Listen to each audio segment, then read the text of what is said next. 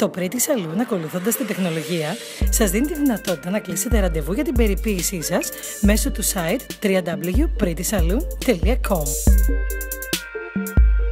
Δημιουργείτε λογαριασμό είτε με την κάρτα μέλους που έχετε λάβει από τα καταστήματά μας, είτε μέσω του λογαριασμού σας από το Facebook, είτε τέλος με τον αριθμό του κινητού σας τηλεφώνου. Κάνετε γραφή νέου μέλου συμπληρώνοντας όλα τα πεδία που έχουν λευκό αστεράκι υποχρεωτικά και τα υπόλοιπα μόνο αν θέλετε.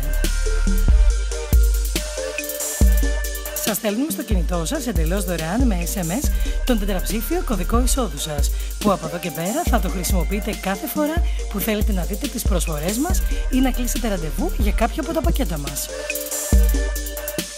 Στη συνέχεια επιλέγετε την υπηρεσία που σας ενδιαφέρει και ελέγχετε τις προσφορές μας. Όταν είστε σίγουροι ότι καταλήξατε, επιβεβαιώνετε την επιλογή της υπηρεσίας που θέλετε να σας παρέχουμε.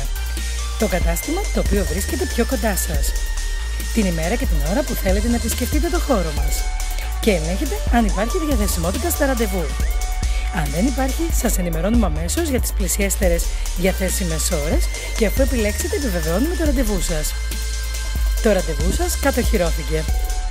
Μπορείτε να πληρώσετε με κάρτα αν επιθυμείτε ή με μετρητά στο κατάστημα. Αν έχετε οποιαδήποτε ερώτηση, καλέστε στο 211 8 50 60 70. Σας περιμένουμε στο Pretty Saloon μας.